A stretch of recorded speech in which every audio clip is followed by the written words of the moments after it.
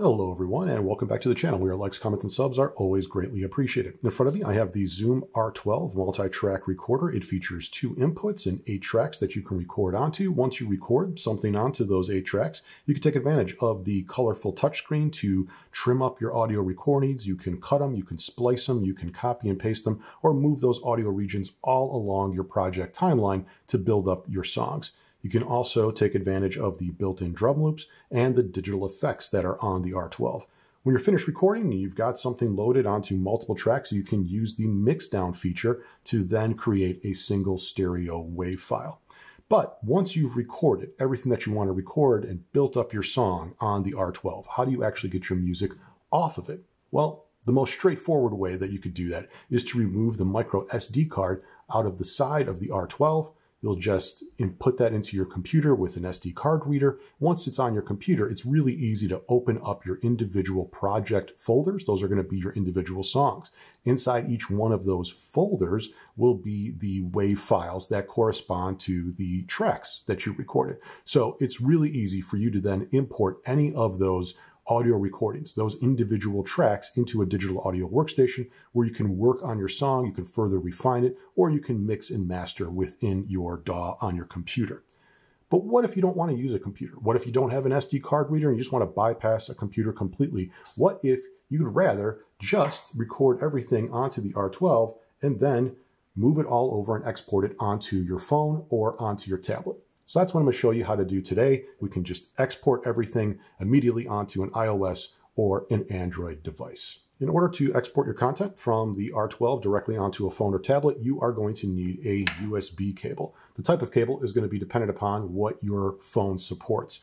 The R12, the back of it has a USB-C port, so you're going to need USB-C on one side of the cable. And then on the other side, it depends on what your phone has or your tablet has. I have an iPhone 16 Pro, so it features a USB-C port. That's going to allow me to use a cable that has USB-C on both sides, and that's going to make my life a lot easier. If you have an Android device, they probably at this point all have USB-C. If you've got an, uh, an, iPad, most of the modern iPads have USB-C. But if you have an older iPhone that has a lightning port, you're not going to be able to use one of these cables, which is USB-C on one side and lightning on the other. So you can't just plug the USB-C into the R12 and then the lightning end into your iPhone. That won't work because of the way that the data protocol is set up. What you need is one of these. This is a iPhone lightning to camera adapter, which is really just kind of changing things from lightning to USB-A usually. Um, some of these also have USB-C,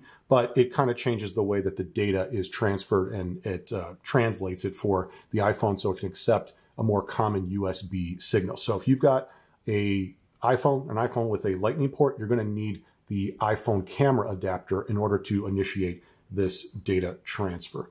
But once you have your cable set and determined what you need, um, if you've got the newer stuff that just has USB-C on your phone or tablet, that's going to be the easiest way to go. But you will need to change the settings on your phone. So for an iPhone or for uh, an iPad, you're going to need to go into the settings. And then from settings, you'll need to find Face ID and passcode. Once you click that, you might have to enter in your PIN number but if you scroll down to the bottom, you'll see something that says accessories. You'll need to toggle that switch on. This will allow your iPhone or your iPad to accept USB data transfer signals from a USB device. So once you have that set on your iPhone or iPad, you're ready to go. For Android users, it kind of depends on what Android version you have and if you have stock Android versus something that's been skinned. But essentially, you're going to need to go into your settings and identify the area that allows you to change the USB transfer settings. You're looking for something that allows you to have USB transfer, data transfer on, which will allow the R12 to communicate with your Android device. So once your phone's settings or your tablet settings are all in order, the next thing to do is to actually hook up the R12 to your phone or your tablet. I have now put the USB-C plug into the R12. And the great thing here, if you've got a USB-C phone or a tablet, is that it can power the R12 through the USB-C cable. If you are using an older iPhone that has the lightning port on it, it may or may not work to power it through that camera adapter. Some of those camera adapters also feature a secondary plug, which allows you to send power to the adapter, which will power both your iPhone and any USB accessories like the R12 or a MIDI controller. But if you've come in from just a device that has USB-C to USB-C, it usually can power, power the R12 by itself, which is a huge advantage. So I've plugged in the USB-C cable into the R12, and I'm going to plug the other end into my iPhone. So I can now have the iPhone run and power the R12. I'll turn the power on, and you can see it turns on, which is great. One thing that you do have to make sure is that your USB cable also supports data transfer. It can't just be a power cable. It does have to support data transfer. All right, once our R12 is on and we've got our settings all aligned for the uh, phone or the tablet, we have to adjust the settings on the R12 now. Now from the R12's main menu, you want to hit the settings cog in the upper right hand corner, scroll down until you find the selection that is SD card. Let's pick that. And now at the bottom, we have SD card reader. Let's pick that. You'll get a signal that'll let you know if your data cable is okay. If you have a USB cable that does not support data transfer or you have some sort of incompatibility with a lightning port with no camera adapter, that's where you might get an error. But now we've established a USB connection between the R12 and our phone or our tablet. Incidentally, you can do the exact same thing with this type of setup on a computer. Just hook up the USB cable to your computer whether that's through a USB-C port or an A port. You don't need a camera adapter for something like that. You just go into one of your USB ports on your computer. It may load a driver the first time that you do that, but it should establish this connection the exact same way. And now you're using the R12 like a giant SD card reader for your computer. But we've now established this connection between the SD card reader and my iPhone.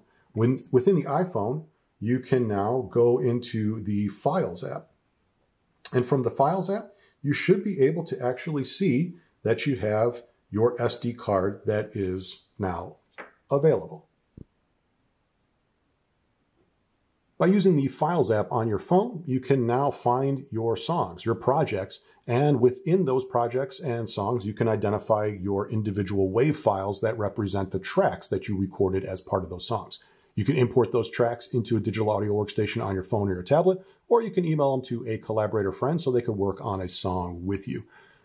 Recently, I made a similar video featuring the larger R20 multi-track recorder, and I demonstrated how you would set up a similar connection between um, the R20 and your phone or your laptop. From there, I also demonstrated in more detail on how you would copy files over using the Files app onto an iPhone, or how you would import those individual tracks into GarageBand. So if you're looking for more detail, I'll link to that video in the description. You can just kind of fast forward to the second half of that video where I demonstrate some of those additional features. But that's all I wanted to cover in this video today. Thank you so much for watching, and I'll see you again next time. All right, goodbye.